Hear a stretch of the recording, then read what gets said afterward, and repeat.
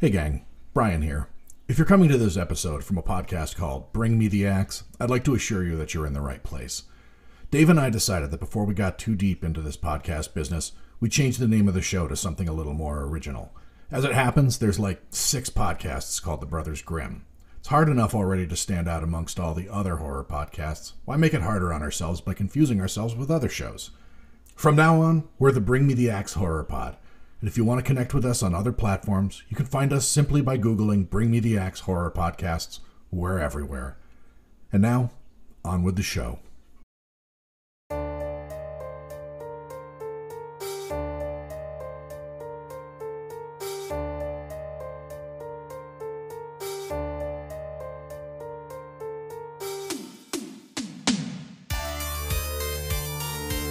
You're listening to the Brothers Grimm podcast, presented by the Cinema Suicide Film Society on Substack. I'm Brian White, editor in Grief of Cinema Suicide. I'm joined by my co-host and actual brother, Dave White. Dave, how you doing? It's pretty good. This is uh, taking taking a sip there. what do you got? What do you got tonight?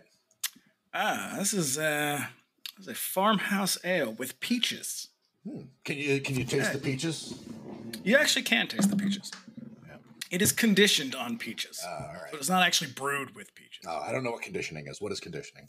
Uh, it just sits. It's it soaks in peaches, or the peaches soak in the beer. I guess. Gotcha. Is the appropriate. So we practically grew up in neighborhood video stores. The steady diet of garbage that those shops provided us with continues unabated to this day. There's no one else I enjoyed chopping it up with more about trashy movies and Dave. And just before we get into it, here's a little housekeeping. If you want to keep up with us between episodes, you can also find us on Twitter and Instagram at GrimBrosPod. You can also contact us directly at grimbrospod at gmail.com with any questions, comments, or suggestions. Do let us know if there's a movie that you would love and would like to hear us give it the business. Lastly, if you like what you hear, you can subscribe to us wherever you get your podcasts. You'd be doing us a favor by leaving us a five star review on Apple Podcasts. Just want to get all that out of the way at the top of the show.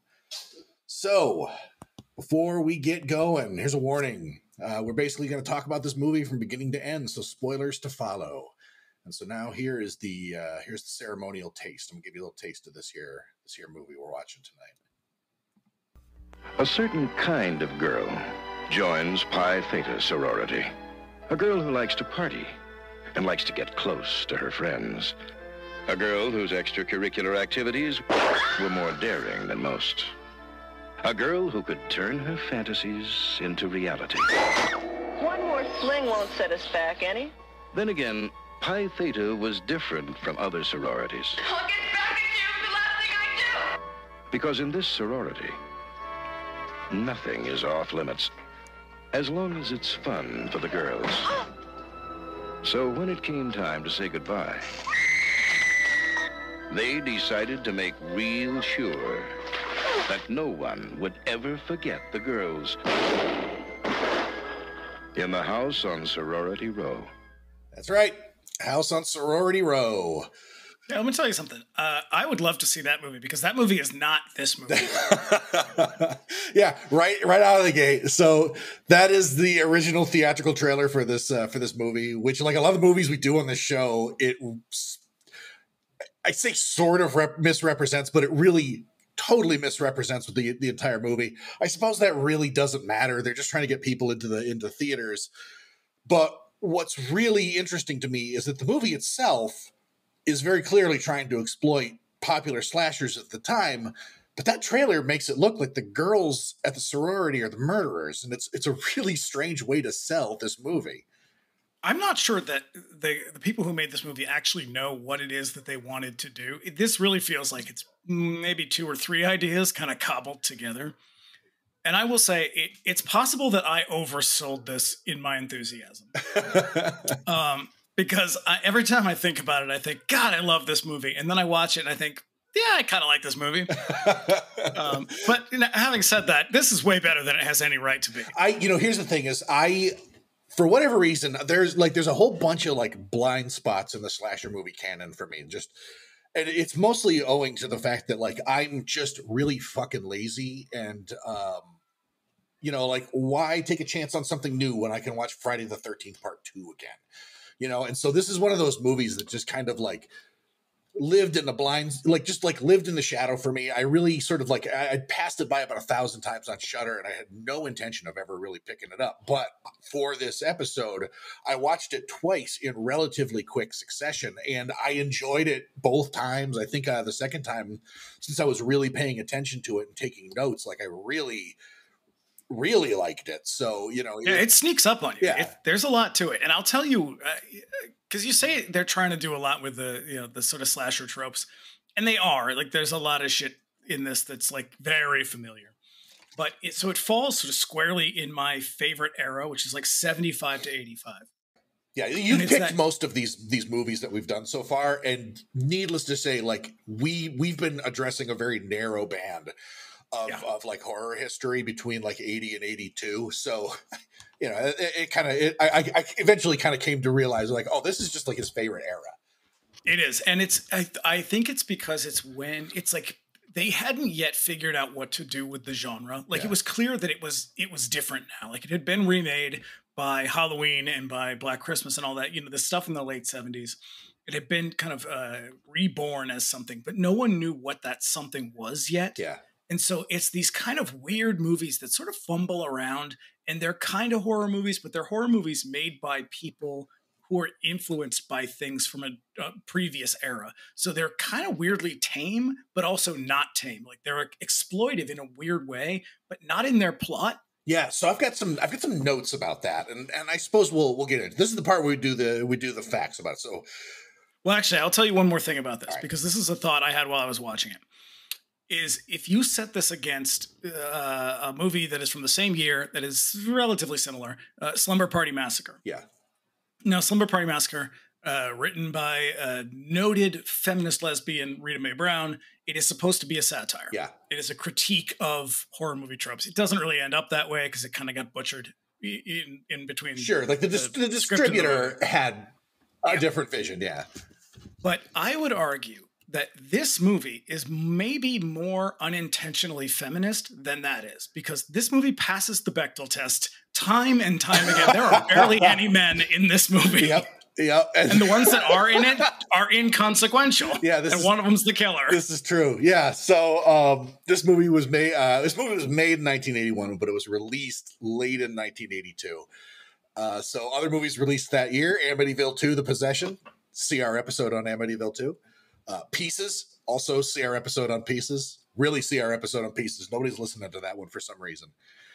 Uh, also, Jaws of Satan. Uh, which is a movie I had never heard of until I was just looking up other horror movies released, and that It is not good. it does not sound like a very good movie. It's like It is Satan well, possesses it cobra. hilarious. It is hilarious and fun, but God, it is bad. Yep. Uh, also, uh, uh, Jean Rollin's Living Dead Girl, Xtro, and of course Poltergeist, which is like one of my favorite movies of all time. Heard of it? Yep. Yep. Little picture. So this was directed by a guy named Mark Rosman, and this is his first director directorial feature. He had done. Uh, I looked this up. He was straight out of film school, and he worked on. Um, uh, he moved on a, on a. He was first AD for like a Brian De Palma picture right before this, which is quite a leap because usually. What's the movie? Oh, Sisters? God, no! I wish I, I'd taken it down. I can't remember. Home movies, maybe. Ah, Um, but uh, it's comedy, yeah, yeah, he's a hilarious guy. That Brian De Palma. especially when it comes to women. Actually, you know. I'll give him this. Phantom of the Paradise is hilarious. I fucking love I that. love that goddamn movie. Uh, but yeah, this is his first. This is his first feature. Following this movie, he'd fall in with the Disney Channel in the '80s, and he worked fairly steadily for them, as well as some TV and direct-to-video just forgettables. Uh, but he found his stride working on basically everything that the Disney Channel ever did with Hilary Duff, like I don't know, 15, 20 years ago. By this point, Who is Hilary Duff? uh, one of the blonde Disney Channel girls. Uh, what the fuck was her show? Uh, Lizzie McGuire. I, it probably won't matter. No, it doesn't matter. But that was he eventually kind of found found his niche uh, working working with uh, with uh, with that. Um, the reason and this the reason that he the entire reason that he made this movie was because he figured uh, correctly that his like the fast track to becoming like a director professionally was to direct your own movie. So Yeah, that's horror. That is why horror movies exist. basically, because they're easy and cheap, and that's everyone's first. that's the thing. And a part of me always bristles at that because like that's I, I love these movies like genuinely like it, like in my heart these like hold a very special place for me but for the people who made them it was a really just kind of like a yeah i'm just trying to get a job in the industry and this is like it costs nothing to make these movies and you know especially if they turn a profit which they all did like even final exam turned uh, a pretty healthy profit. So like if you made a horror movie george romero did it you know night of the living dead was supposed to be a fast track to um, really what he intended to make was movies like There's Always Vanilla, which nobody's fucking seen that one, and everybody's seen Night of the Living Dead. Sam Raimi, the whole thing with with Evil Dead was he was like the movies that I think that he always intended to make was like for the love of the game, which is the one that nobody fucking likes.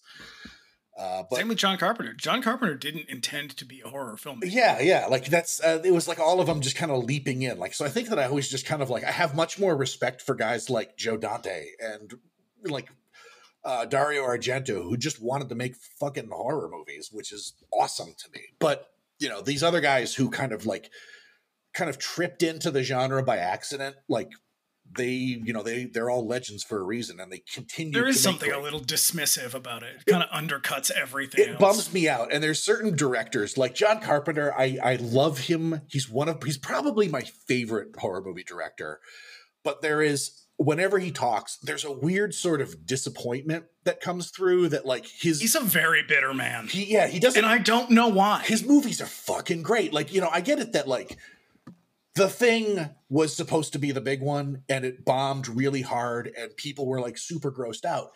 And I think that time has been very kind to it. And uh like nowadays there are legions of fucking fans. There are people my favorite movie of all time is Escape from New York. I fucking love that movie. But like to hear him talk about it, even today, he's still kind of bummed about the fact that it just underperformed at the box office. Yeah, there's that that Guillermo del Toro story where Guillermo del Toro tells him something like, and this is like I don't know, 2017. He tells him something like, you know, that movie was so influential for me, and it was really one of my favorite movies. It really blew me away. And he was like, yeah, well, it didn't do any good at the box office in 1982. And it's like, dude, that was 40 fucking years I ago. know, get over it. You're you, a goddamn icon. you could just have, what more do you want? he could have coasted on Halloween. God. It would be like if Beyonce was just like, well, nobody liked my first record. like, Yeah, I don't, I don't know, I don't get it. But like the people who, like this guy Rosman, he he got out of it. And he he kind of found his way. But like the other, these people who who, you know, who kind of like Raimi and Carpenter and all the people that we just mentioned, like they kept doing it because they were good at it. So you know, I don't know. They can hate it all they like. I love this shit. See, that's why I am a huge fan of Vincent Price because Vincent Price, he was not a horror actor. He fell into it sort of and got pigeonholed, and he was still like, you know what?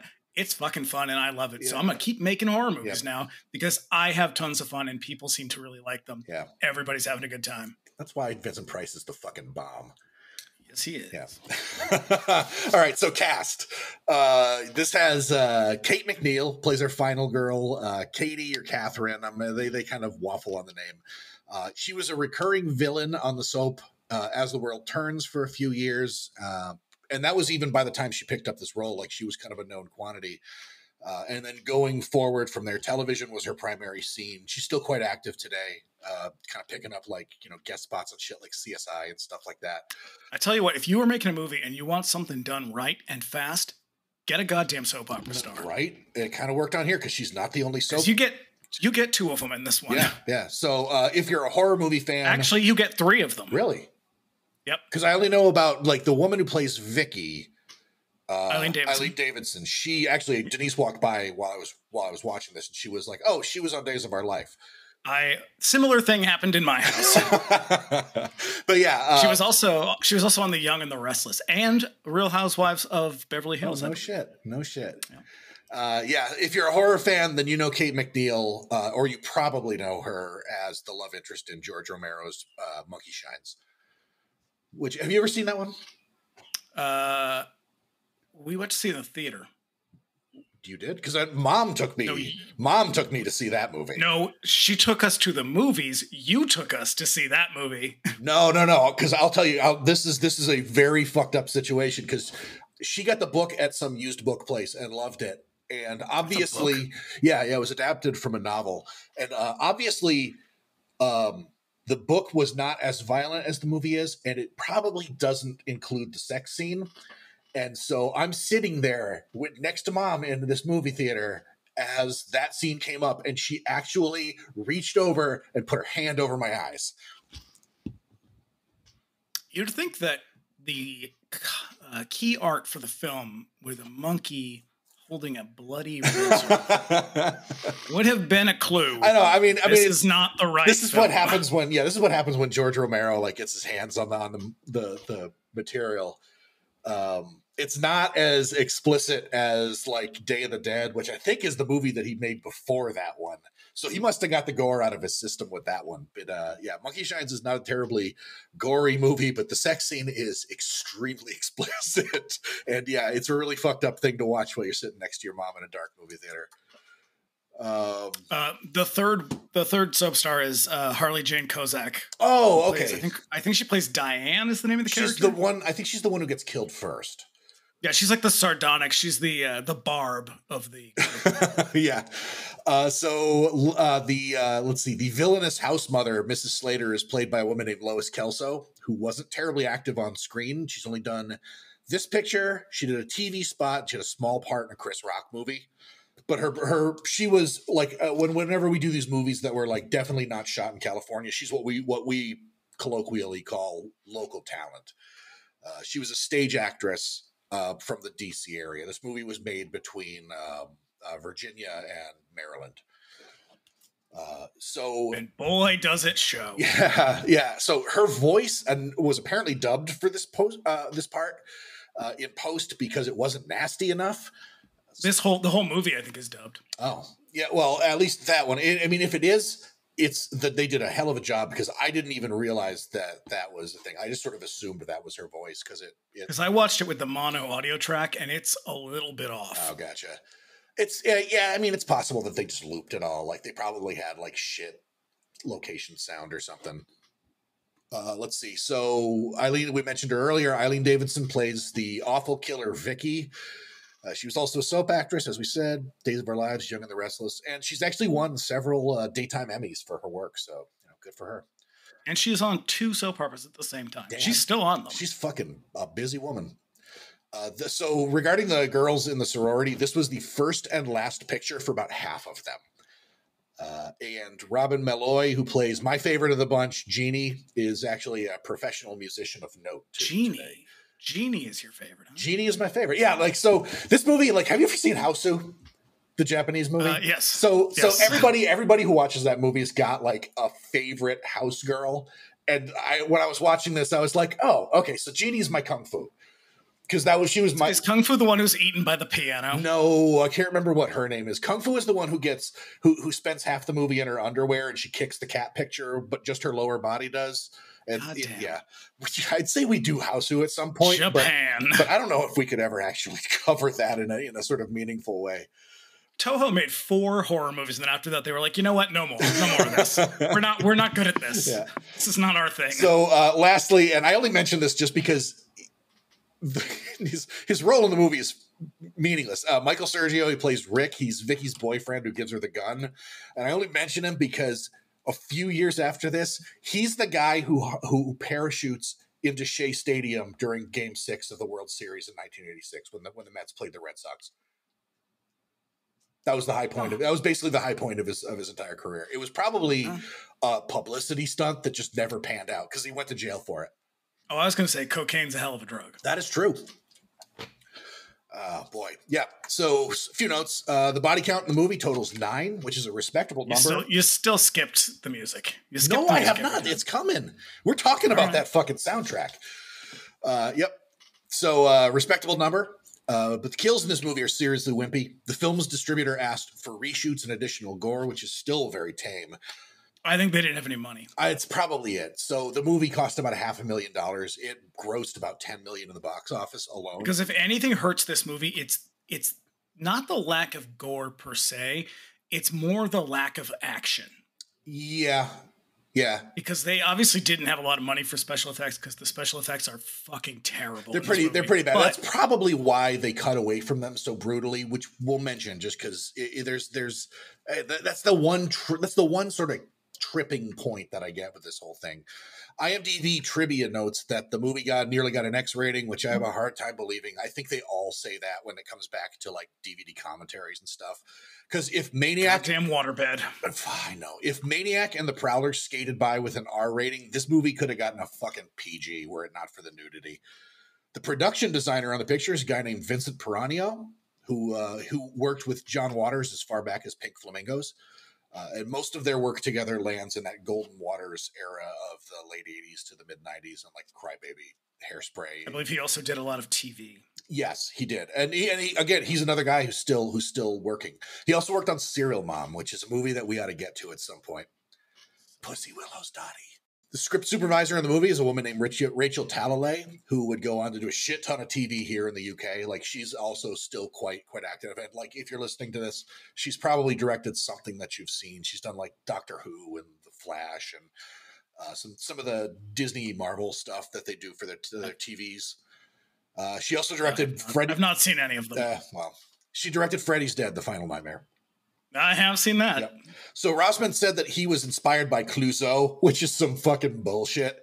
Man, shut up. I know. Just shut the get, fuck get up. The fuck out. Get, what is this shit? The central conspiracy of the prank gone wrong and a hidden witness is shamelessly stolen from prom night. It is almost identical to the setup for or, prom night. Or every single slasher that is based on and then there were none. Uh yeah, yeah, that. But also he'd clearly seen Black Christmas right up yes, right up to the end. Heavy, heavy shades of Black Christmas. Yeah. In a in a way that is not bad because I will say, in an era, I mean, this is pretty much true of all horror movies, but uh, horror is sort of notoriously misogynistic and creates kind of one-dimensional female characters.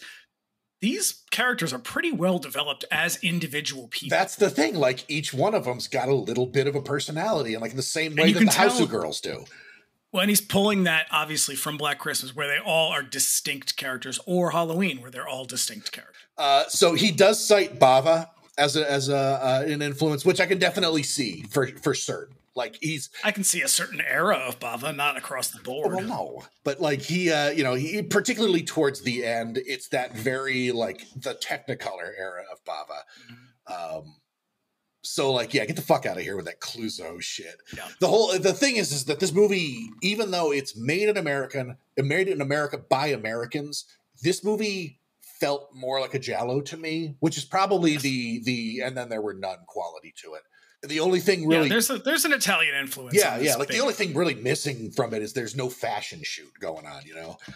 Um, so now, the score is composed by Grimbro's favorite Richard Band, who is gleefully stealing from Manfredini's uh, third Friday. Oh, I was going to say doing his best, uh, his his best uh, Jerry Goldsmith. yeah, this is actually a bit of like a, a pastiche. Like, there's definitely some Jerry Goldsmith parts. There's some like spooky la la la stuff and there's a lot of yeah, that. There's a lot of that. That stabby, like uh, uh, dun, dun, dun, dun, dun, dun, dun, dun, kind of stuff that that Manfredini does in Friday the Thirteenth. I love the fact that Richard Band shamelessly rips shit he off just all steals. the time, and he doesn't care. He doesn't. Like and all of Reanimator, Reanimator is basically Bernard just Herrmann. psycho. It's so yeah. it's psycho. That's all it is. It's so great. Yeah, I know. And I like the thing is is I don't give a fuck, man. It's no, he doesn't either. He's like, yeah, that's exactly what it is. I thought it'd be funny. He's so good. He's so good, and the music and the like. The music was actually like so he composed it and it was performed and recorded by the London Philharmonic. So like this is not like a nickel and this is that's not, where all your fucking money went. Yeah, like this is not your like like this is not a nickel and dime like final exam. Like it's definitely on par with something that was acting with a little bit more money and um, yeah, this is like lower to mid tier this isn't like don't go in the woods alone. Like this is a little bit elevated, yeah. but not quite to you know. Yeah, like it's definitely it's definitely a director's first picture, but it doesn't it it it definitely feels like something that came from somebody who is like way more accomplished. I will also tell you, you said that, uh, that prom night is an influence on this. Prom night, this beat out prom night for this particular pick for this week. Oh no, kidding! it was that, going to be prom no night shit, because you said that last time also. I because I, was trying to find a way to work it in Gotcha. there, and I still will right. because it is a Canadian film, and I love Canadians. Prom night is? Yeah. No shit. Same I, guy who made Curtains. I had no idea. All right. So it is 1961, and it was a dark and stormy night, because of course it is. Uh, we we open it up on some sort of a like a, a hospital where a woman is having difficulties with labor, and the uh, the doctor has to cut her open. It's a it's a dark and stormy black and white night.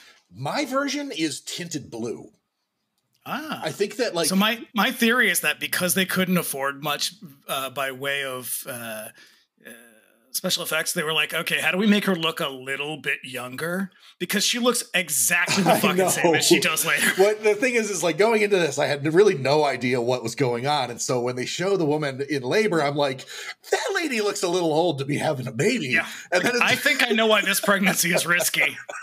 I mean, yeah like i mean they they do their best but like when she shows up in the subsequent scenes i'm like oh oh my god they just like like put like a cowl over her head to sort of like Yeah. you know but uh yeah so she is uh she she's struggling and there's a little there's like a lot of chatter between like the doctor and the nurse and there's a lot of close-ups on like a pregnant woman's stomach and then this woman like having a hard time and the dialogue is super misleading. What it sounds like is she she asks like where's the like after it's all done and everything's kind of kind of quieted down she asks where the baby is. The doctor's evasive and then she screams. So it sounds like the baby is lost. That's a reasonable assumption yes? Except yeah, except uh, we we then cut to the present. That's titles over a montage set up uh, to set up our victim pool, and uh, there's a lot of close-ups, uh, montage of zany girl stuff happening. Over yeah, this whole thing has like a vibe of everyone's getting ready to go on vacation. it really it's almost like the that that uh, it really needed a song like in the mutilator that goofy like billy joel song or it needed some kind of new wave like 80s kind of thing going on instead of the strings that we that we get the jerry goldsmith stuff Yeah, my note just says uh, this is ladies doing ladies. That's really what it is. They're like, they're like they they open up closets and like boxes of shoes fall out. Like it's uh you know it's it's over stuff. They're like shaving, like their legs laughing and shit. shaving their legs. Yeah. Like it's it's just lady stuff. Yep. And uh, Catherine is is uh, we then finally we come to the thing. We come up that we meet our final girl, Catherine. She's in her room. She's packing up. All of these girls have just graduated, which is also part of the sort of establishing shots in the in the montages. They're all in their kind of caps and gowns. So like this is the last couple of days that they'll be in this sorority house. Catherine's getting ready to move out, um, and her mother looks out the window, and we see Chekhov's swimming pool. God, that's what my note says too. I know it. I knew it. I knew it. I knew we were gonna we were gonna get one of those. Yeah, I mean, also that's kind of a that's that's sort of becoming an us thing. along comes along comes Vicky, who sucks. Uh, Yeah, they're they're about to smack you in the face with the Madonna whore dichotomy. oh God, yeah, yeah, and it because really is. I mean, th- Catherine could not look any more pure unless they put her in like a fucking Holly Hobbie dress. She is dressed like like Little House on the Prairie for half of this movie.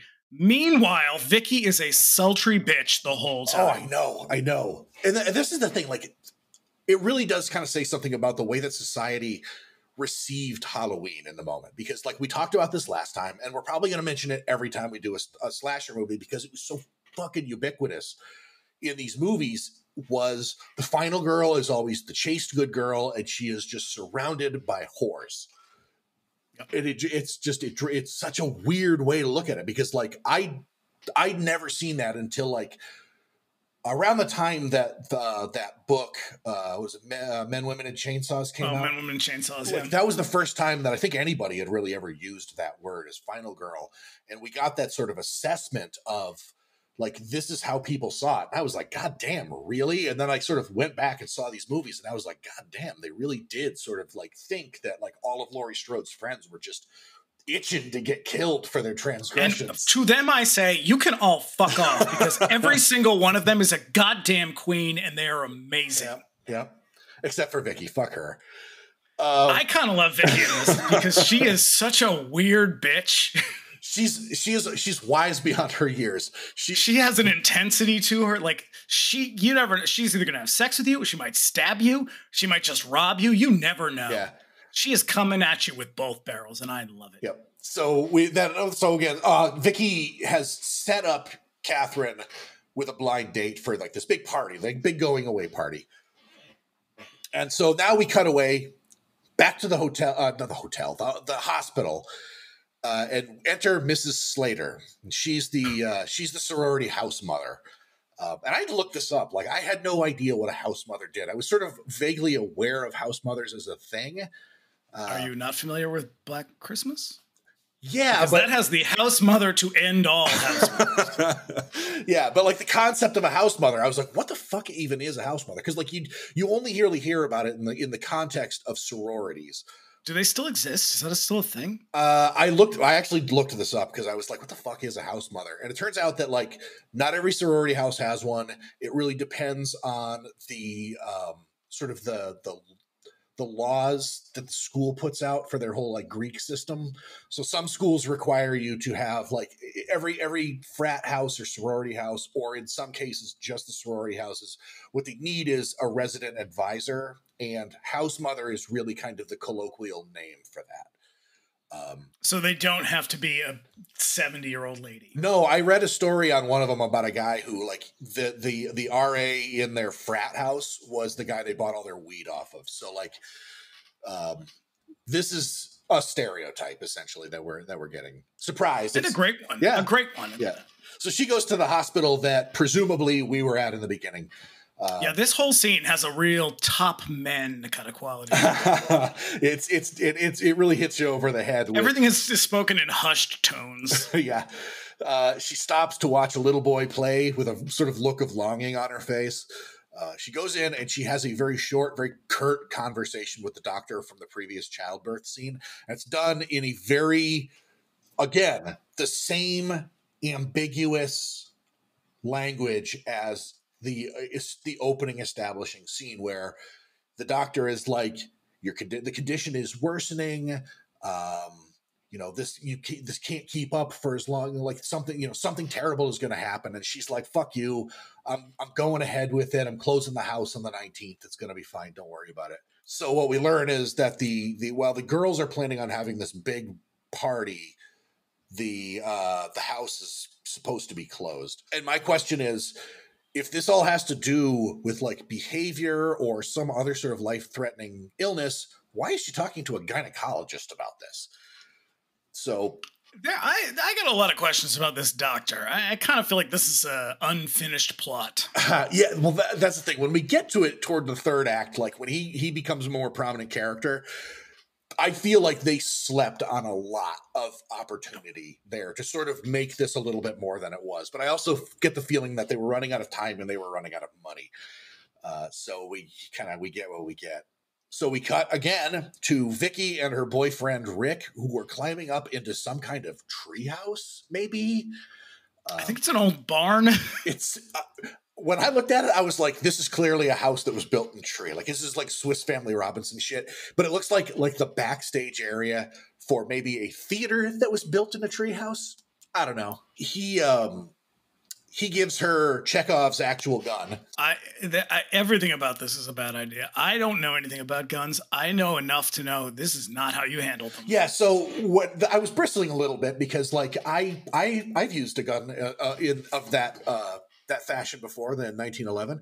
Uh it is a really really powerful gun. It is extremely loud as well. Like that's what I whenever I see people using guns in these having actually like been at a range and like used firearms like I get the feeling that without the headgear that like dampens the noise, I would be deaf after like five rounds. And these people, these two are like hanging. She's firing this thing off like fucking dirty Harry, And and, he is good. like licking her ear while she's doing like this is very dangerous. like, I don't think this is a good idea at all. this is very improper gun safety. But uh yeah, we're gonna learn. Vicky don't give a This fuck. is what's wrong with America, Vicky. she don't give a fuck though, as we come to find out. she really does She not, doesn't. and that's kind of why I like her. Yeah. So uh, again, we cut. So this was again another sort of establishing scene. We're putting the gun in Vicky's hand. But they do this. They do this hard cut, and this is. I don't know what if there's a name for this. It probably is, but it's Oh, when yeah. they cut. They fire the gun, and it, it coincides with the popping of a champagne cork. It's sort of like when someone gets their head cut off or something, and then it's like a splat of ketchup on a plate in a diner somewhere. yeah, yeah. I would love to know it. I guarantee that that's got an industry name. I would love to know what it is because that's what it is. Is Vicky like fires another shot, but we hard cut to the girls in the dorm minus Vicky, and they're all drunk and in their underwear because that's you know. And now you're gonna meet them all.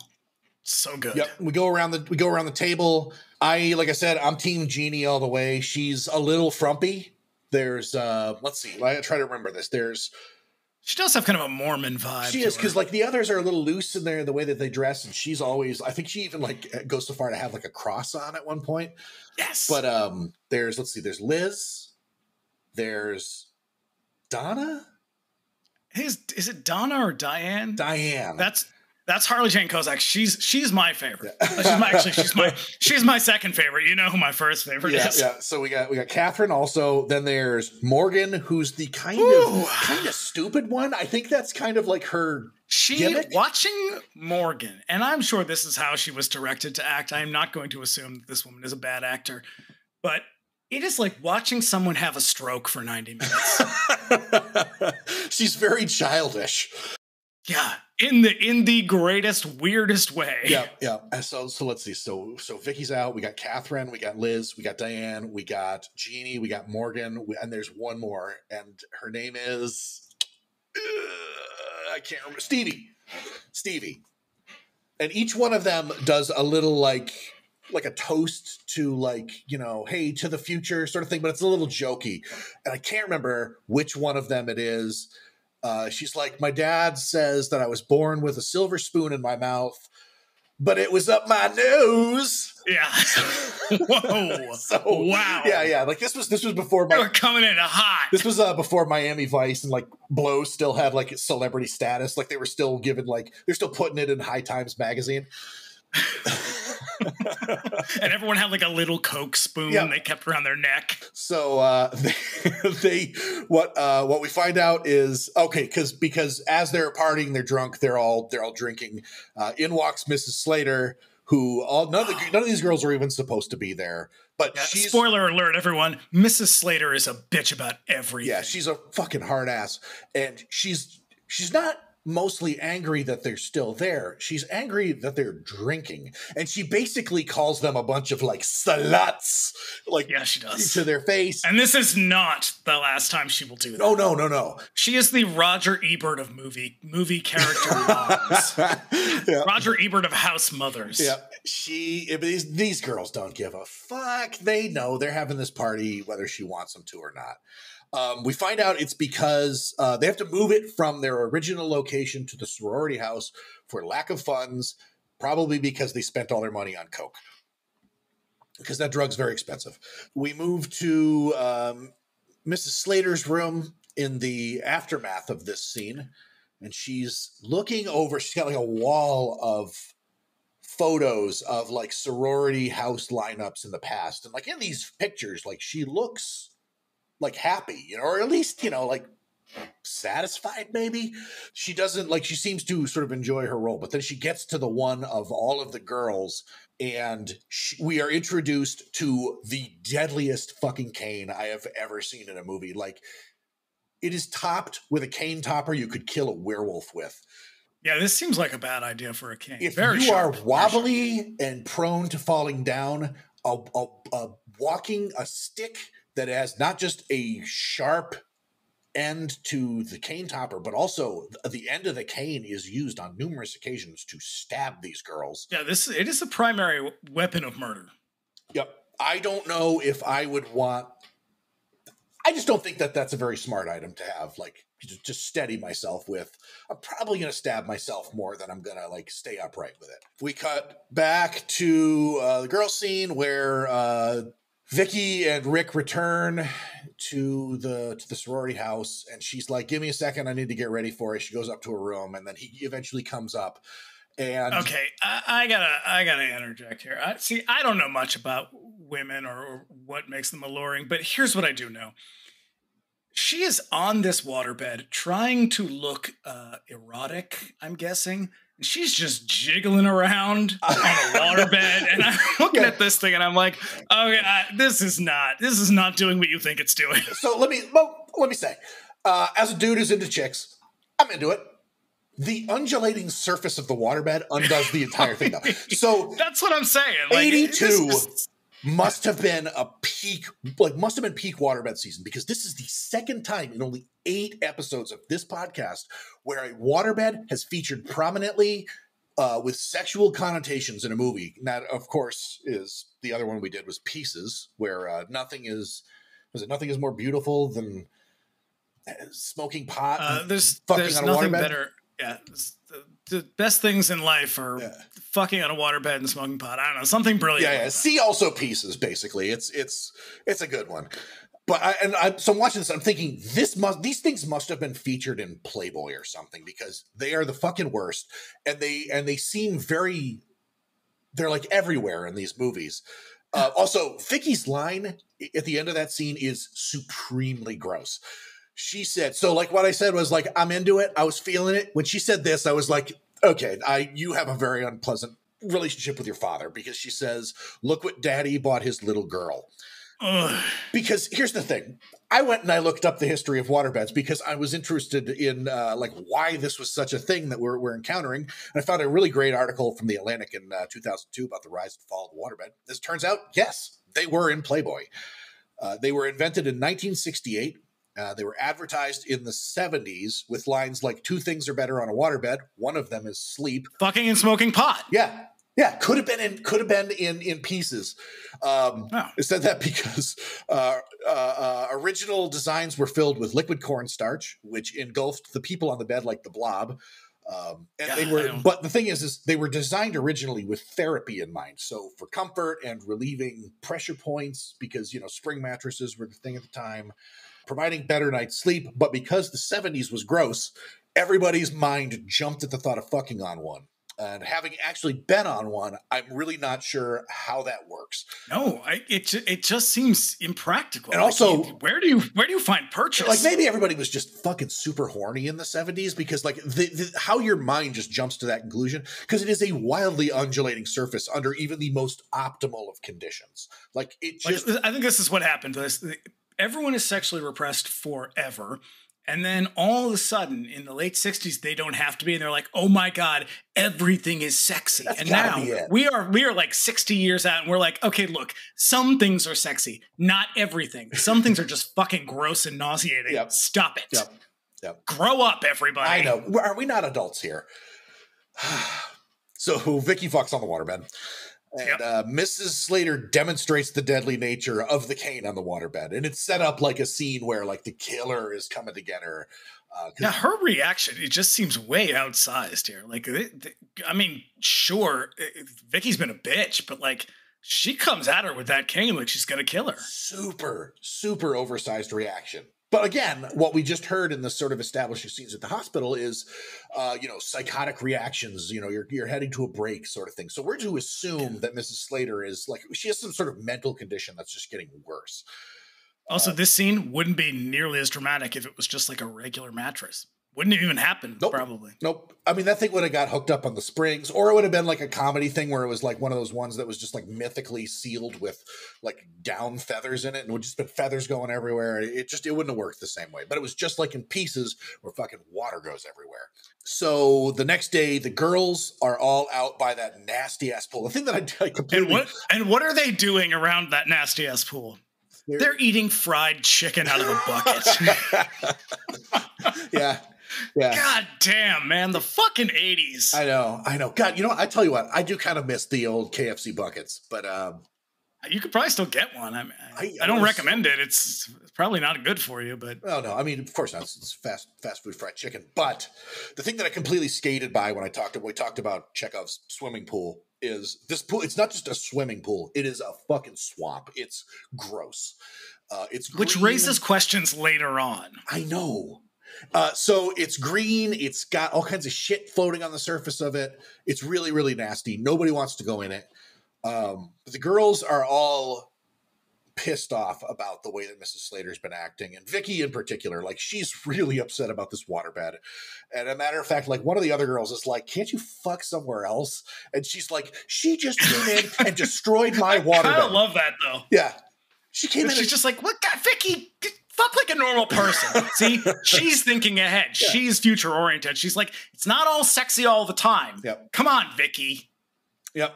They and so they all they're all like, okay, yeah, we'll just do an old fashion sorority prank on her. And they all start brainstorming the most banal shit. Like, what if we put a bucket of water over her door and it'll fall down on her when she walks in the door? Or what if we light a bag of dog shit on fire? And and Vicky is like, Vicky has a different idea. Vicky- What if I shoot her in the chest? well, the thing is, Hilarious old prank, just like the school shooting prank Oh, in I Final. Exam. Oh my god, the similarities between these two movies are, are really playing out. But the thing is, is in the moment, Vicky doesn't really even say what her plan is. She goes, "I got it," and and the and she looks at the other girls who kind of argue a little bit, and then she's like, "Well, are you with me or not?" And I'm thinking it'd be helpful if you said what your plan was. Uh, but it cuts it cuts to um, uh, the next scene where they're all sort of handling the gun. Like Vicky is is passing it around, and they're all like scared of it. Obviously, like they've never they've never handled such a thing. And so we still at this moment we still don't know what Vicky's plan is, uh, but it it involves a gun apparently. Uh, so the next morning, Mrs. Slater wakes up and she turns to her little like cane holder, and the cane is missing. And so she goes down to where the girls are all down at the pool, and Vicky is turns into a fucking Bond villain in this in this scene where she reveals that the cane is floating on like an inner tube in this disgusting pool. On the fucking grossest old timey inner tube I've ever seen. Yeah, yeah. It looked like it was like it was from a truck from the 30s. Like it, it's yeah. Yeah. Uh, and she's like, "So go get it." And Mrs. Slater's like, "Fuck you, you go get it." And this is when Vicky pulls the gun on her, and everybody kind of like shuts up for a moment. And so Mrs. Slater doubts the authenticity of the gun, to which Vicky turns and fires it at like a lamp and br- and breaks the light, you know, with the bullet. And Uh, so keep keep that in mind. I want to come back to that as well. Oh, I think you're thinking what I'm thinking. So the she then points it back at uh, Mrs. Slater, and all the what is it? There's a there's a bit of a struggle, and then she shoots. Vicky shoots one of the girls in the leg, who has a, a wound now, or so it seems. And then, uh, so that's Stevie who gets shot, and then the third, and then finally, Mrs. Slater is like in the pool. She's been sort of tricked into this. And then again, they shoot Stevie who gets hurt. And so she comes up out of it. And then Vicky turns and shoots Mrs. Slater, but nothing happens to her. And then there's a bit of a struggle and a tussle for the gun. And the, the gun goes off, and Mrs. Slater gets shot in the fucking chest and dies from a gunshot wound. Classic prank. Classic stuff. So let's go over the sort of contents of this Guns magazine because the first shot was a live round, apparently. The second shot was a blank. The third shot was a blank. The fourth shot was a live round. And she says later, I didn't know there would be another round in the gun. And I thought to myself, why are there just a mix of blanks and live rounds in this gun? It's a very risky proposition. This is a very poorly planned prank. Yeah. But Mrs. Slater is like legit dead. Dead. Like she's just dead. There's no like death scene or anything like that. Like she she falls into the pool and the girls go and get her. And Katie, Katie, who was dressed like fucking Cindy Brady, she is having none of this. Yes. She's the one who's like, I'm going to go and do the right thing. I'm going to go call an ambulance. And all of the girls are like, wait, we're going to get in trouble if you do that. Yeah, one of them's like, "What about my job at Pan Am?" I was know. like, Jesus, Yep. you got weird priorities.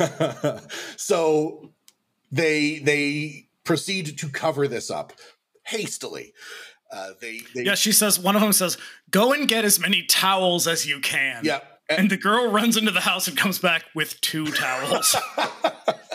yeah. you ran into a house, a sorority house full of people, and you found two Yep. towels? So they wrap her up in the towels, they tie her up, and they they throw her into the pool, and she sinks. And then the girl just as the band, just as the band is yeah, arriving, just as the band is arriving. and they send Morgan to to stall the band. And my note just says, "Oh no, don't send Morgan. She's an idiot." yep. They, they, so they roll her into the swimming pool and she sinks, and then they all walk away. And then because you know physics being what they are, Mrs. Slater resurfaces, uh, and now it's party time. Get our cars ripoff band. I actually call them. Uh, I call them uh, Great Value Sparks. Yeah, it reminded me of, hey, who here likes the Doobie Brothers? Because we got one of them. yep. So, uh, but before before like this, there's a whole like establishing shot. The party's going on. It's packed. We got this band playing. Everybody's dancing. And we go back outside, and it's nighttime now. And somebody out uh, by the pool recovers the cane and tosses off the blankets that Mrs. Slater was wrapped in, which is a con- which causes a continuity error that you probably you'd only notice if you're me, but whatever. Uh, but yeah, we cut back in. This is a band called Four Out of Five Doctors. Who's They're a real band. yeah, whose Wikipedia page was very clearly written by a member of the band, by the way. Um, they also appear in the movie The Boogeyman. So this isn't even the first horror movie that they've been in. Wait, which one? Not the not the uh The Boogeyman is the the the, the the American. American Boogeyman, yeah. okay. Um, That movie fucking sucks. I've I, that's another one that I haven't seen. I've been it's it's been real garbage. Yeah. Um, their their music is available on Spotify. It's not bad. Um, they're Yeah, they're just a cars. I said, yeah, they they're kind of like the Cars and Big Star at the same time. Like that's that's really their thing. Um, so now, you know, this is the, the things are things are ramping up. There is a rando party goer who's just wandering around through the bushes. This scene doesn't make any sense. Does not make any sense. Who is he talking? Who is he talking to? He's the only one there. Hey, you got. to he's talking about like squirrels like- biting his dick. Yeah, it's like you got to look out for squirrels. Like, and then and then he gets stabbed in the throat, or rather, a a fairly convincing dummy of him gets stabbed in the throat. yeah, what is arguably the most violent scene in the movie? I actually, I think Jeannie's death takes that, but this is also up there. We cut back to the party, and now enter Peter. Peter Peter. is like a Peter sucks. Peter is like a leitmotif that nobody asked for. He he's basically he's Catherine's blind date. He's the guy that Vicky set her up with, and he for just I for just no real reason he just sucks. He's like there's nothing really particularly shitty about him. His behavior is appropriate at times and completely like inappropriate at others. He he just keeps entering into the scene. His job in the movie is essentially being told to fuck off by Catherine. Like that's the whole that's the all he does in this movie. It's like, uh, Peter, nobody wants you here. Read the goddamn room. yeah, and so he comes up, and this scene is about this is a blind date. This scene is about as as real life awkward as an actual blind date. I think he's supposed to be a MacGuffin. I really can't be sure because otherwise, I don't know what the point of this character is. Um, his role, I'm- in- probably because someone was like, "Hey, you know, you've got no dudes in this movie." That could- now, to to that, I say thank you. yep, Their response seems to be, "Okay, here's Peter." Yep.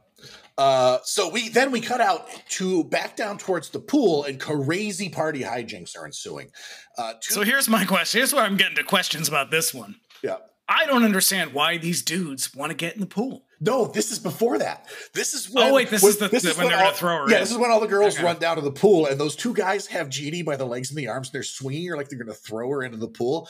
Now, This is basically just assault. I think this scene is supposed to be funny, but to It me, is not. it comes off as wicked rapey. Like it's they are attacking this woman. Yeah, like and her her skirt's like way up around her chest and shit, and like she's not in on the fun.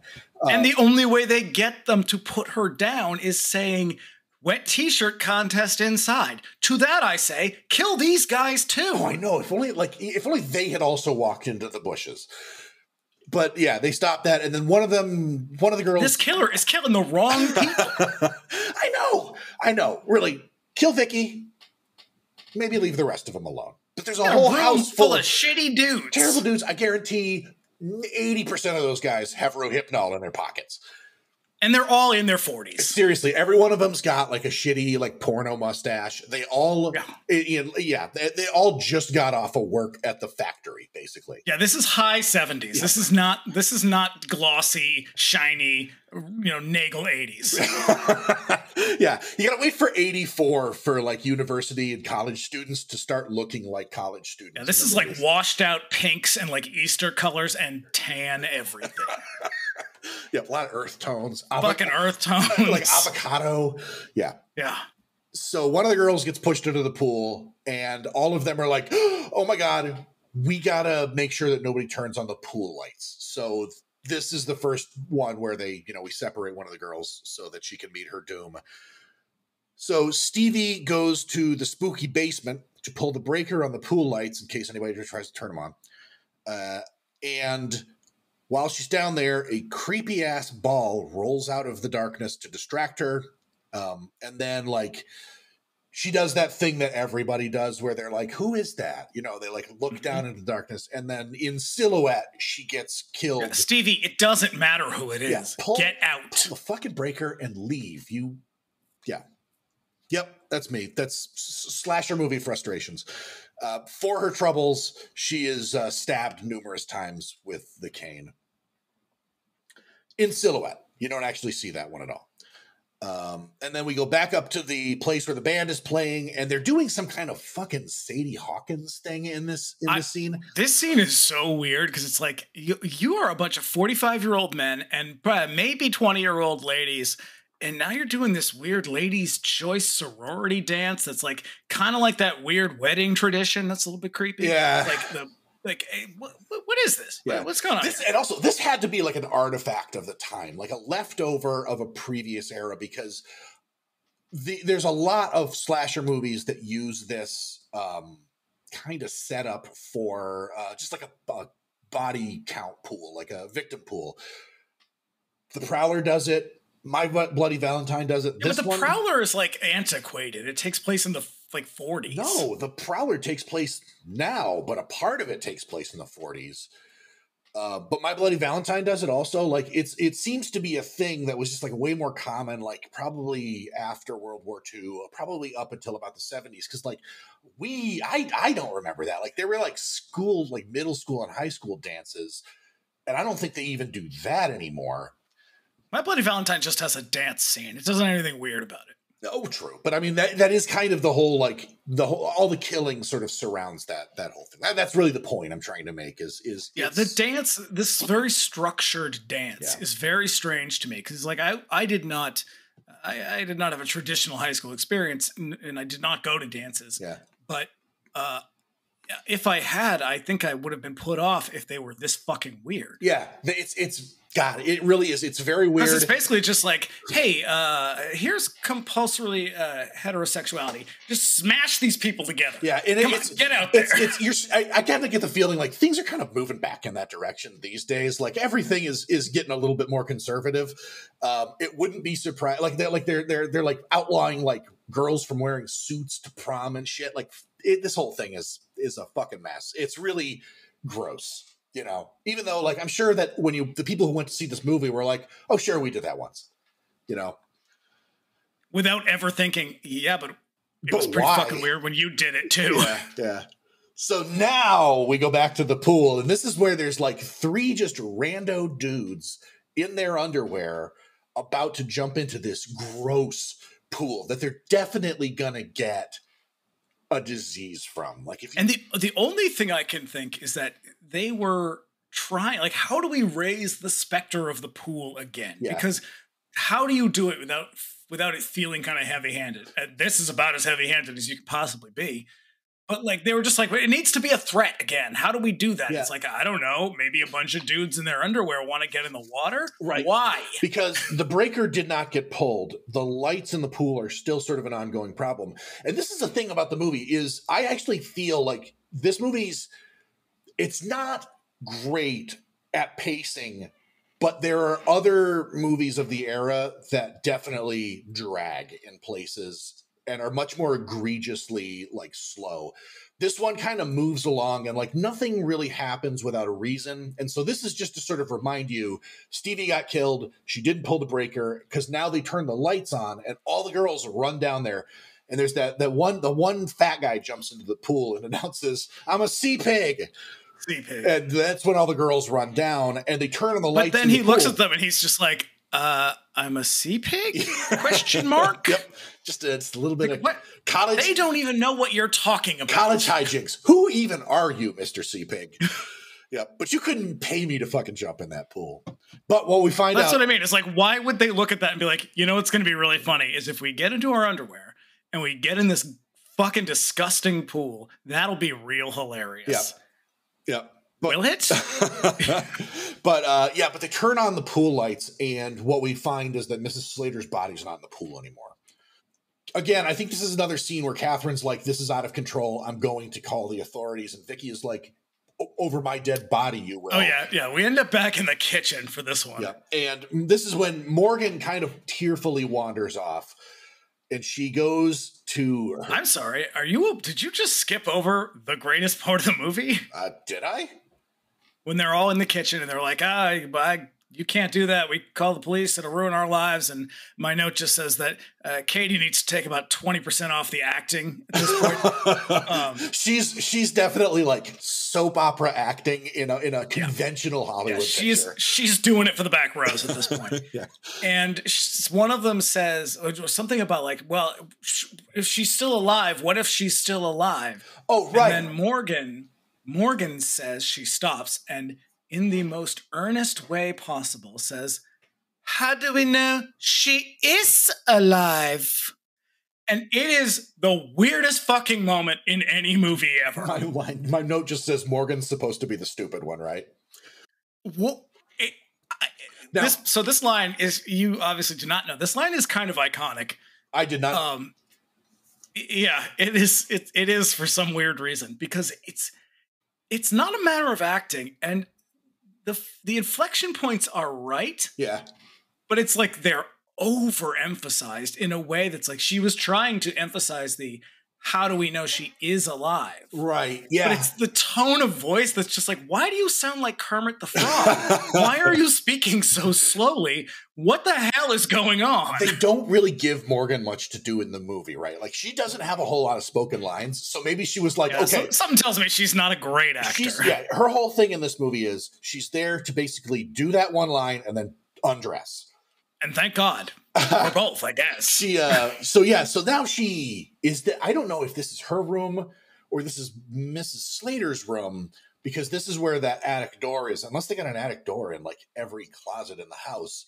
But she's in there singing like the sorority song, like very sadly, very tearfully, as she like takes all these like clothes off the rack. Oh yeah, because they're supposed to make it look like she's like go up. Vicky tells her to go upstairs and make it look like uh, Mrs. What's her face uh, has is like packed in lead. Gotcha. Okay, so that's that's why she's she's, She's in her She's in her room. And so as she's doing this, the attic door is like opening a little bit and then a little bit more and then a little bit more and then we switch to like a POV of the attic door opening and something uh, coming at her, descending on her. Uh, we cut back.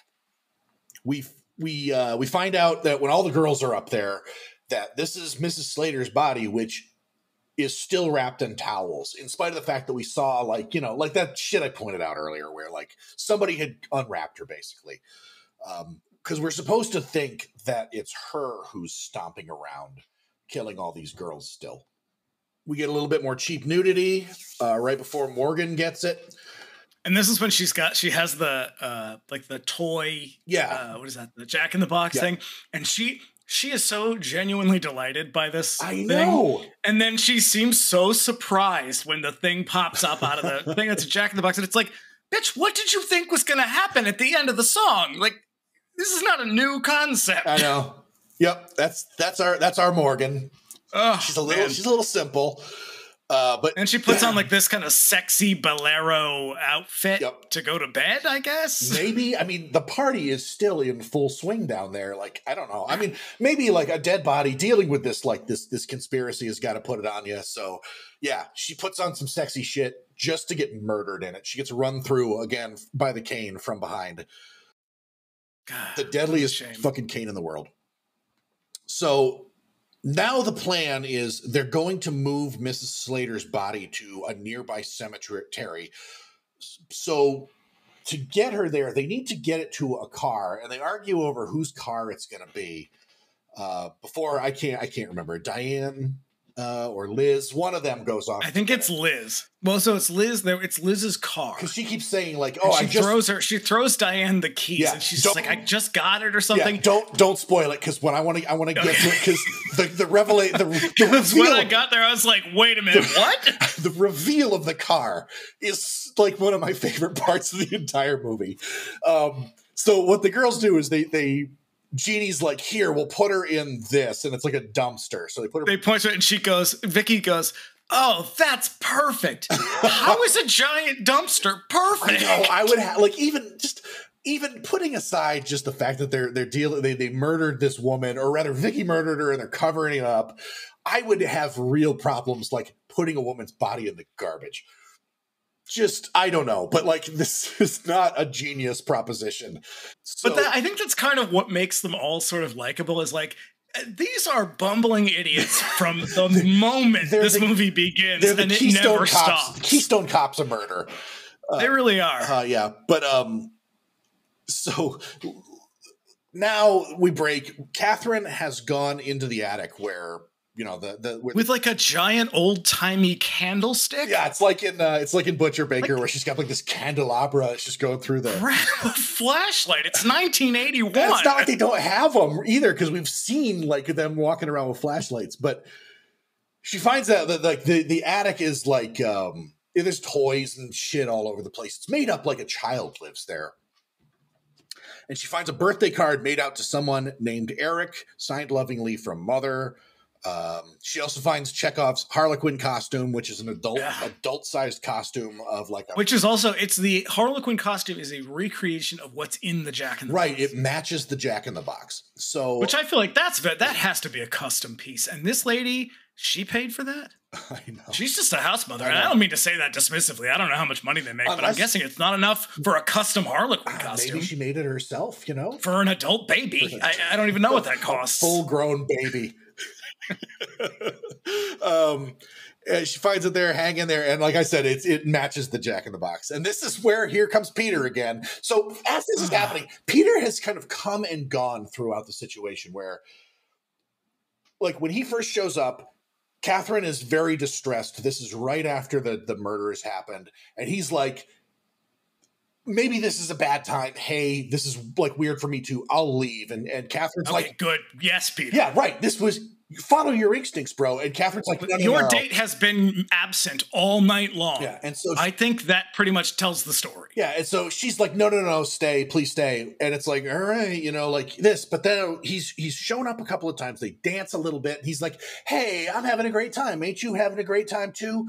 He's not scuzzy. He's not sleazy. He seems like an uh, like an okay guy. He's just fucking feckless. He's just he's Yeah, no he idea. just sucks. Like I feel like I feel like if if I was hanging out with Peter, every time I turn around, like Peter, what are you still doing? like it is two o'clock in the morning. I went to bed two hours ago. I- Why are you in my living room? I know. Now he this is like the second time he's sort of just lurched into the scene, and this will be the second time that she has said, "You need to go. You need to just get out of here." And he keeps fucking. and he showing says his line says he walks in the room. He's like, "Oh, this is a neat room." It's like, This okay, is a- no, it is not a is neat terrifying room. room, This is like one of the rooms from the fucking. This is like something out of out of a Nightmare on Elm Street. Like, Yeah, This is where a killer lives. Clearly, yeah, and like he he's like, "Hey, oh," he starts riding on one of the toys. He's like, "This was used to be my favorite." And again, she says, "Get the fuck out of here." Yeah, she's basically like, Peter, I think you need to go home. And my note actually says, Jesus, Peter, go home. because he's gonna keep showing up.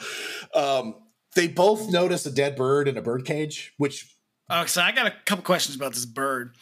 That bird is very clearly recently dead. yeah, because it's all like So red blood.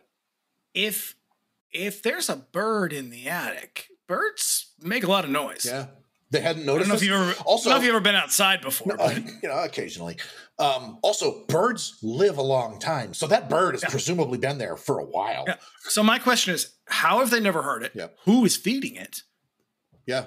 Yeah, because yeah, as we find out, Eric's not there all the time. He's only there in the summers. Because he's in the Indiana Jones facility the rest of the year. That's right. Yeah. So now Where they Di- all talk in hushed tones about Diane- mistakes made in the past. Yep. Diane goes to get Liz's car, which turns out to be a serious 70s style custom fuck van. Like, I want a fucking wizard on the side of this van. It, it may as well have. She's got uh, like a CB radio that has like a, a full. yeah, there's a fucking sight gag with the the CB radio falls down and spooks it. Like, why is this girl, this like hot young sorority girl, This is a van- driving this fucking van? this van belongs to a man in his 30s who hangs out at like one particular discotheque in town and still gets ass with it. Like this this van does not belong in the possession of like a Either that or like a man in his 50s who has or possibly maybe has not kidnapped a woman. yeah, he, yeah, when he does that, he But goes, odds are good that he has. he goes in the back and he just like makes like ships and bottles and shit. Like it's it's such Yeah. a fucking weird artifact. Like it's very clearly okay. We need a car for Liz, and they're like, "Can we borrow a car from somebody?" And one of the PAs went. Like yeah, a buddy of mine has a has a car. I'll be right back, and he shows up with this thing, and that would be perfect in like and they were like, we don't have any more time. We're going with this. Yeah. But she talks about it like it's a fucking Trans Am. It Like makes- she's just like, no, this thing might as well this is been- my T-top hot fucking car. and, and it is not. Nope. It is not that at all. No, but oh my god, the revelation of this van. I went. I this was like like like the wedgie picking scene in Final Exam. I, I had to like. I had to like go back to the original scene to make sure that this van like belonged to one of the girls because like it just doesn't make sense in the context of the rest of the movie. It's so See, this is how this movie gets you. Is the more you talk about it, you're like, you know what? This movie's fucking great. oh, it's so great. It's it's just it's the peak moment of the entire movie. I cherish Yeah. this scene. Uh, but- I think everything from this point on is why I love this movie. it does it does it you know what it does get way better because we're we are kind of rounding the the corner into the third act like the murders are ramping up because this is a scene i think that's liz who goes to get the car she gets killed by some unseen assailant um above her Oh no, it's um or maybe it's uh, diane, Diane. Because she gets stabbed through the sunroof or whatever Yeah. in the hand, and the hand is like clearly someone just sort of made this thing out of clay. yeah yeah. Because it is There's like- it no is- blood there's no blood No, Also, Nothing. when the guy in the bushes who's like who's who gets stabbed in the neck, like they went to all that trouble to make that like pretty good like mold of this guy's body, and there's no blood when he gets stabbed. Like surely they could have done something. that's because they use it all for the head in the toilet. Yeah, yeah, yeah. Uh, so uh, the girls are now pushing the dumpster towards the garage where the van is. Uh, but Which they- this is where the movie you're like, what what is going on? Why are they pushing a dumpster with a body in it? couldn't she? What's have, happening? Couldn't she have just driven up to get the body? Or I, like, I don't know, something else. But like, I don't know why they did this. Oh, because their whole plan, I don't think you mentioned this. Their whole plan is they're going to bury the body in the cemetery. Yeah, yeah, because that's the thing is that there's a cemetery right nearby. They're gonna go. They're gonna do it. They need to move it to the van to get to the cemetery. But this whole dumpster plan is very convoluted. But they push it into a cop's car, and he almost in the scene. This is a real. They could have lost this scene and have have been have been richer for it. But like he almost opens. I, I guess it's just tension building or whatever. Cop almost opens it to find the body. Just before he turns the lights on and gets out of the car, Jeannie runs off. Yeah, this is like another sea pig moment where you're just like, ah, you're almost caught. Yeah. Ah. Yeah. So Jeannie goes, uh, she's attacked on her way into the house by the killer, who now, like, he gets a couple of shots on her and she's, she gets away, but also the killer drops this, like, emergency bracelet, like, you know, if, you know, if in an emergency, call this number sort of thing, which is, um, a, it's a prop that's set up at the hospital earlier on in the movie, like way, way, way earlier in the movie but that just that just hits the ground. Jeannie, Yeah, the emergency bracelet is about to go off in the third act. yeah, so Jeannie gets away. She runs into Catherine, who's like now Jeannie's like traumatized by this. She's a little cut up. Uh, Catherine leaves her to get help, of course. and then she's chased by the killer who comes into the sorority house. She runs into a bathroom and hides into a stall. You know, scene that plays out almost exactly like the restroom scene in Maniac. Mhm. See our episode about Maniac.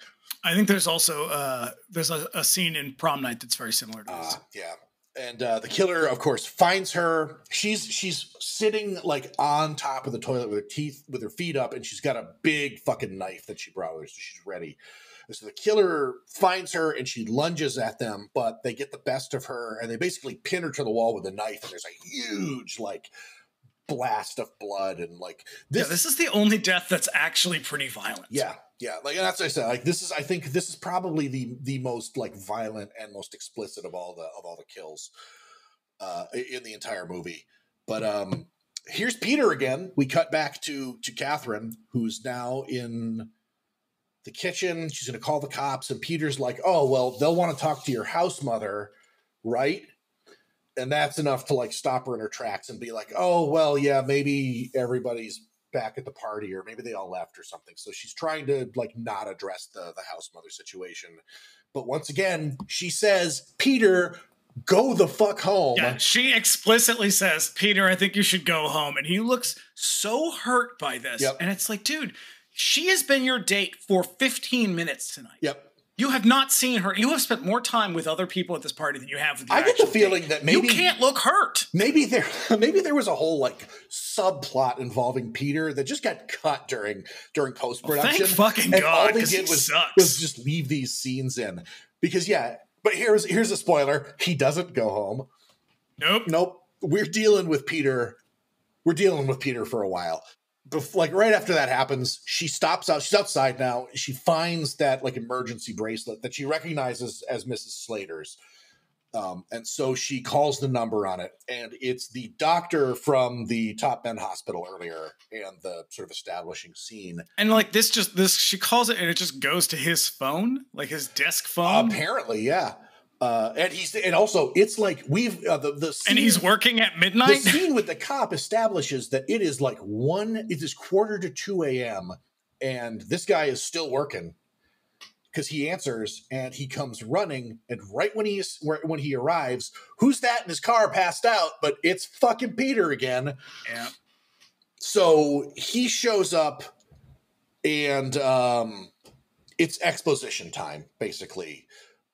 What turns out, what we what we find out is, and I'll tell you what, this this this misdirect actually worked on me the first time. Like the whole time I was like, who like who is the killer? Is it actually is Mrs. Slater really alive? Is it Oh, because they keep up the "Is Mrs. Slater alive?" thing until like the end of the movie uh yeah, yeah, because there is uh, there's a for scene- reasons that don't make any No, sense. No, no, there is a scene coming up where we finally firmly establish that she is dead. She is 100% dead. But even then, he says she's still alive. He does? Yeah. Oh. I don't know why he says it, but Oh, because, yeah, they, they unwrap her and it's her body still. yeah, she is clearly dead. Yeah. But the first time that I watched this, I had no idea. It, I, it, it just kind of goes to the movie's quality and the way that it really is kind of like pretty snappy in its storytelling. And, um, or, or either that, or I'm just a really credulous movie viewer and I'll just go along with anything. But like when I'm sitting here thinking, like, after she re- finds the birthday card, I'm like, oh, so is Mrs. Slater crazy or is there really this killer? That's when the ice started to thaw a little bit. But like right up to this point, I was like, oh, shit. Okay, so this Eric is really the killer. So hey, good on you, House and Sorority Row. You, I would have welcomed an old lady killer. I And I mean like a killer who is an old lady, Oh, not yeah. a killer of old ladies. Oh, yeah. Yeah.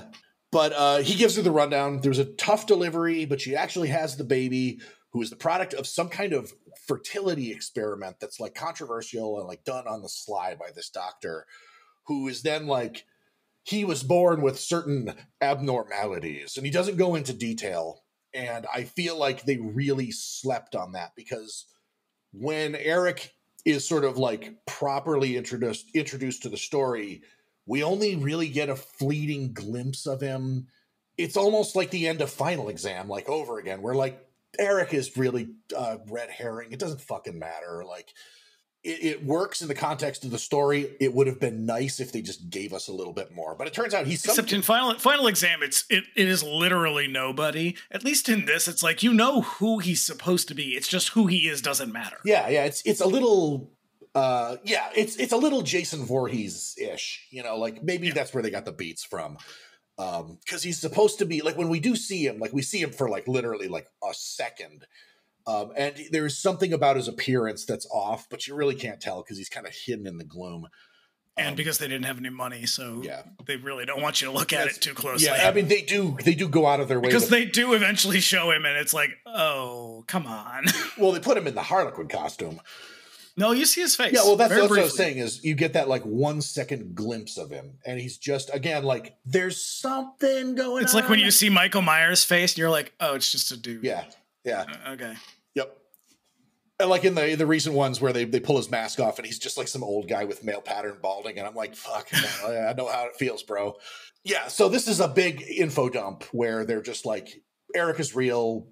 He he lives at the institution throughout the year, but when the house is closed and everybody goes home, Mrs. Slater comes and gets him, and they they he lives in the house, but she still keeps him in the attic, like uh, Which look, I, I'm not gonna. I don't want to call anybody out for anything here, but Mrs. Slater's really fucking judgmental throughout this whole movie. yeah. she is also being inappropriate. It's not okay for her to be bringing her crazy son to live in the weird murder attic. Oh sure, yeah, yeah. Oh yeah, So, it's totally. It's you know. it's like it's almost it's like that Treehouse of Horror where there's like a mutant version of Bart that lives in, in the Simpsons attic. So that's that's. I'm disappointed and terrified that you looked up there. but uh, yeah, we have three children, Homer. three.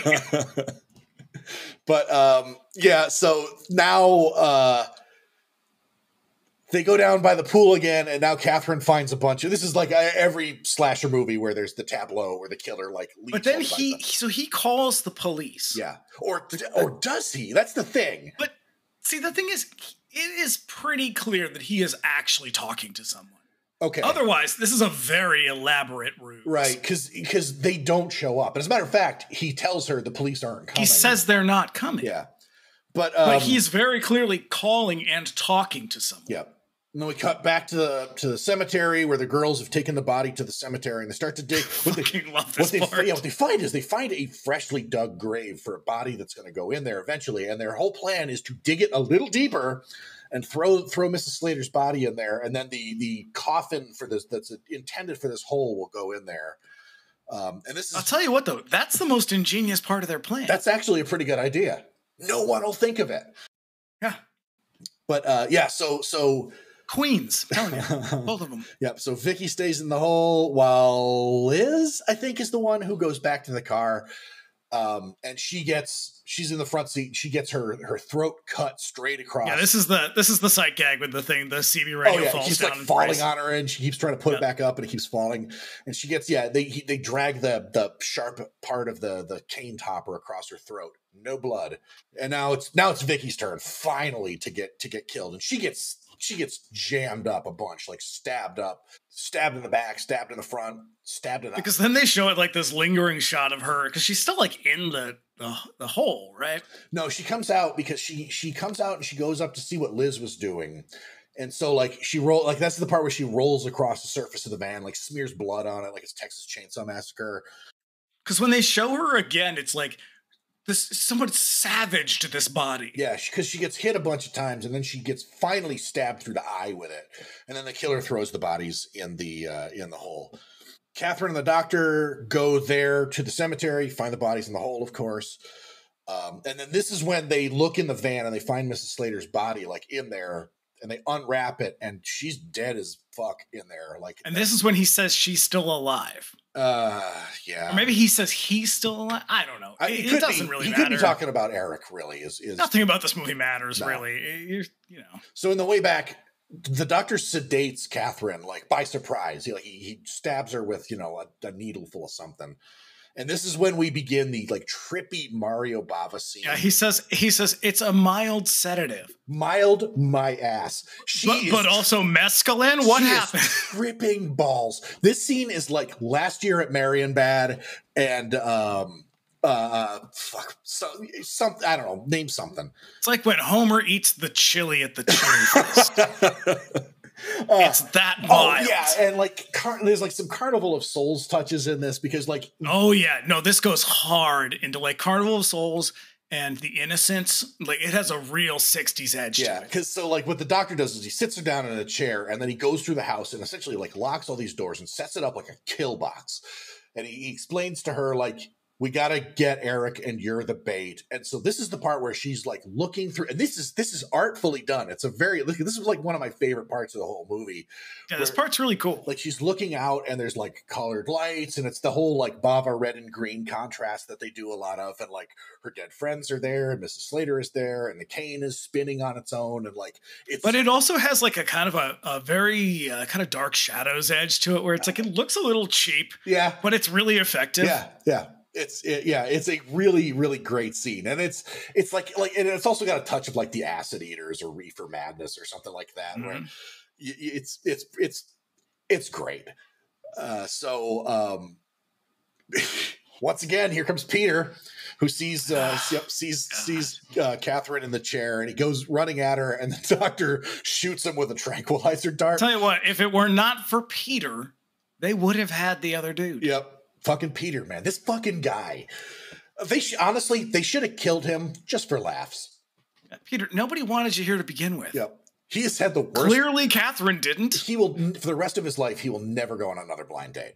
Catherine is, sort of uses this this moment to, of distraction to sort of get up and run down the hall. There's a really awesome zoomed, like dolly zoom shot as she's running, where like the hall seems to move uh, as she's going through it. And she gets into Vicky's room and she finds the gun.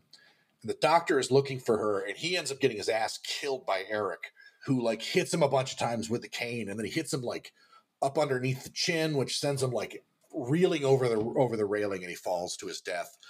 I Uh, believe this is when you see Eric's face. right. So now Catherine has the gun, and she goes out to the same railing, and she looks over, and she sees the doctor's body, and she sees Eric standing there, just kind of looking at the body. And she tries to shoot him with the gun, but like she does- obviously doesn't know how it works, like safety mechanism and all that stuff.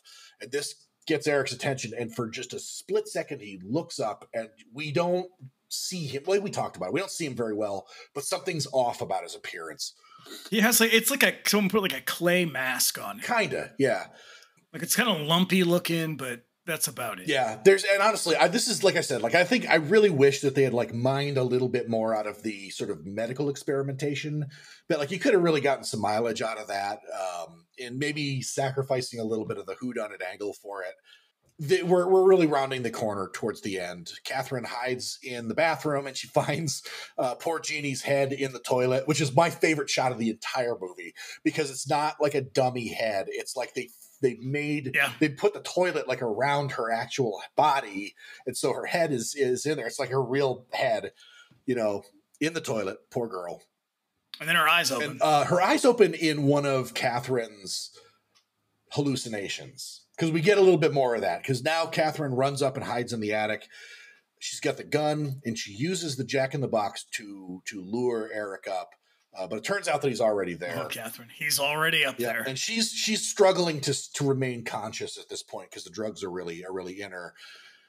She's still tripping balls, and this is when we see the head in the toilet again, and that's when Jeannie opens her eyes, and then it turns out I think this part is actually pretty cool. it works. It's great. now you know it's coming. Like you you know it's coming. Oh, they set it up earlier because the bot like the the the Harlequin costume is set up when she finds it almost as though somebody's wearing it, but she touches it and nobody is. But now Eric has already been up there. He's been up there the whole time that she's been trying to lure him. Um, and they struggle, and he knocks the gun uh, out of her hand, and she kind of goes reeling, and she finds a baby doll and rips the head off of it, and finds the deadliest spike that apparently was holding this baby doll's head on. Like this is a dangerous. I believe that is how they used to be made. God damn, that is some dangerous shit because it is like it's like an ice pick.